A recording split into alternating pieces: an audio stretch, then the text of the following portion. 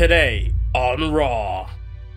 With the WWE Universe now moving forward towards Survivor Series, Shawn Michaels already recruited three superstars for Team Raw in War Games. Molly Holly, the women's general manager of Raw, will have to do the same for her team regarding War Games at Survivor Series. Also, on the next episode, Triple H will make an announcement. What will it be? We'll find out. Also, Bianca Belair will go one on one with Liv Morgan as Bella. They're going to bounce back from her loss at the Great American Bash, and the World Tag Team titles will be on the line in an open challenge. Who will challenge the War Raiders. Find out all plus more on Raw.